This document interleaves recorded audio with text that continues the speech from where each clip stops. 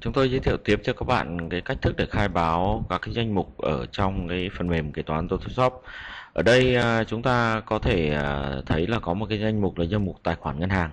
Cái mục đích của cái việc khai báo cái danh mục tài khoản ngân hàng là các bạn có thể thấy là khi chúng ta khai báo các cái tài khoản của một công ty mở ở nhiều ngân hàng khác nhau thì có nhiều tài khoản.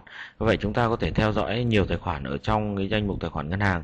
Nhằm mục đích là khi chúng ta cập nhật các cái chứng từ liên quan đến cái tài khoản ngân hàng thì chúng ta có thể chọn tài khoản ngân hàng.